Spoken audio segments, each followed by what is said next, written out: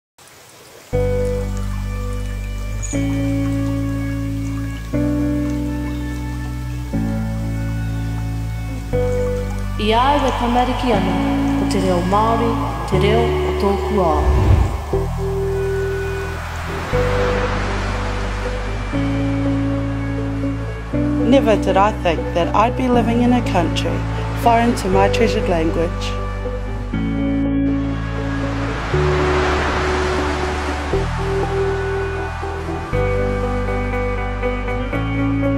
Yet here I am in the land where the red soils of the outback meet the golden sands of the crisp seas.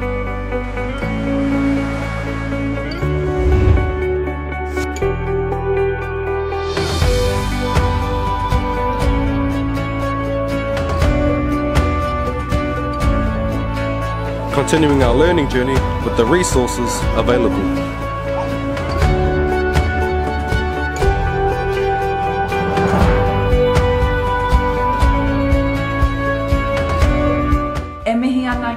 whare wānanga ki ngā rauemi, ki ngā whakaaturanga, ki ngā pāpāho Māori.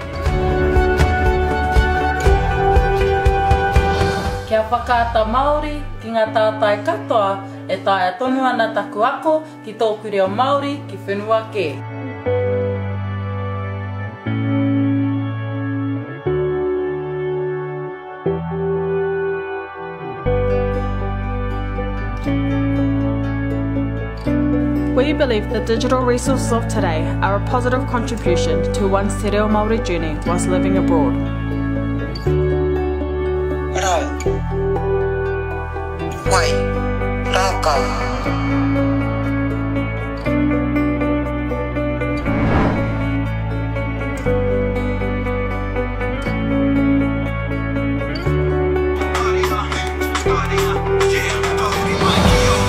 Living in Australia, we like to ensure that our tamariki are exposed to as much te reo Māori as possible.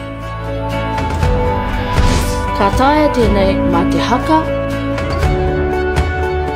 mā te waiata, mā te taki karakia,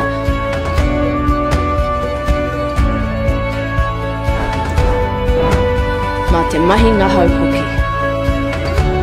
Te reo te pou e iri ai ngā taonga kui mā koro mā.